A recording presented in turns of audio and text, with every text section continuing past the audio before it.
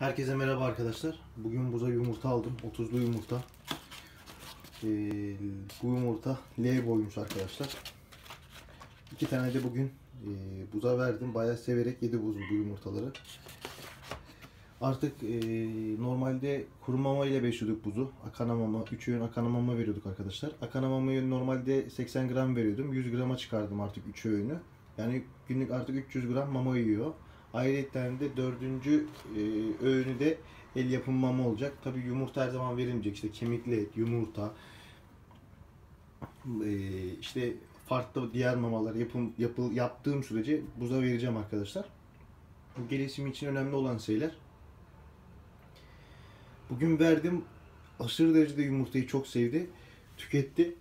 Artık buzun en iyi seviyeye gelmesi için elimden geleni yapacağım arkadaşlar. Kendinize iyi bakın. Görüşmek dileğiyle. Herkese iyi dostlar diliyorum.